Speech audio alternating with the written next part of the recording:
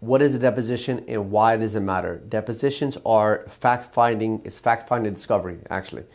We depose the person that caused the accident, we depose the owner of the vehicle, we depose anybody that can give us good information about how the accident happened, policy information, any witnesses, any law enforcement officer that may have seen the accident or can talk to us about the accident. We depose people that are before and after witnesses, people that knew you before and people that know you after. At the same time, they also depose yourself, you, they depose any before and after witnesses, and they depose any doctors and things to that effect, as we do. The premise of the deposition is they're asking questions to find out what was your previous, if you had any previous injuries, if you had any previous accidents, if you had any previous issues, because their job, the insurance company's job, is to mitigate, is to reduce as much as possible the damage to their client, to their insurance company. So they're looking for a way to say, you're not that injured because you had this. You're not injured because you had this. You missed these visits on this visit. Um, you don't want to get surgery because you didn't get a surgery in the past two years. So their job is to ask those type of questions. Some things to remember. That's it's a draining process and it takes a long time. By law, they have seven hours. Normally, they don't take seven hours. Sometimes they'll break it up and they'll do other depositions, but normally it's one deposition. It's between two to three hours, typically. Depends on how detailed the deposition is.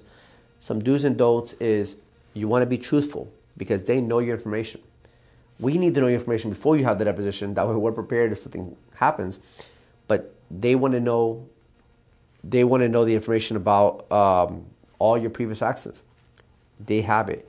The insurance company has a huge database that they have all these claims, all these things. They can find what's wrong with you. They, if they're asking you very direct questions, they know the answer.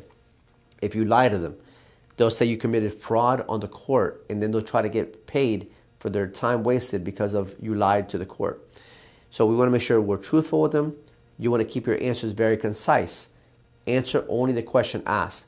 A lot of times in conversation, we like to ramble, we like to talk, we like to do all these things, but in the deposition, you want to be very, very concise in your answers. Yes, no, and answer only what you need to answer. In fact, if they ask an open-ended question, try to answer only the opening question. The only time I suggest going a little bit longer is how has this accident affected your life and how these injuries affected your life. That's when you have the opportunity to talk about how it's affected your, your time with your kids, you know, whatever, whatever, how it's affected your life. You go into detail there. They'll ask you questions about that as well, but that supports your injuries of why you're going through what you're going through because of their negligence. When they ask the question, do you want to ask, do you want to add anything else? After the deposition, after they've gone for two hours, the answer should always be no, uh, not at this time. Because the more you talk, the more questions they ask you. And sometimes they'll keep asking you that question. Um, is there anything else that we didn't cover? Would you like to add anything else? Would you like to add anything? And when you're done with that, they'll ask you again, do you want to add anything else? And they keep doing this over and over and over again to see if you say something that can work in their favor. And they keep asking you questions about that. So always, after you've gone through this long process and we're part of it, and we'll, we can object if the question's ambiguous, if it's confusing but we can't stop the deposition unless they're being they're harassing you, they're embarrassing you, or they're or they're they're out of line. But for the most part, that doesn't happen. If the question is confusing, we can make an objection to form. The form of the question is confusing. But when they finally get to the end, they say, Do you have anything else to add? Say, No, there's nothing else for me to add. Because that will save us a lot of time. And the more information you give them, the worse it is if you keep adding more and more stuff. So it's stay to the facts of how it's affected your life, your your medical, be honest with them, and we're still in the room with you. We're still helping you through this whole process.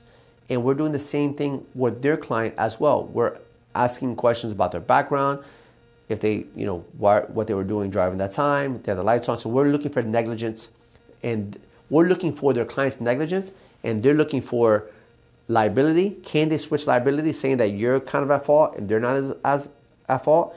And they're looking at your damages of your body. Can they reduce the amount of that they're going to pay you for your injuries? It's a game. It's a back and forth. It's a chess game, and the idea is Can they catch you slipping? And if the answer is yes, they're gonna they're gonna pull on that string as much as they can. So whenever you get close to the depo, they say, "Is there anything else?" No, but you have to be truthful throughout the depo.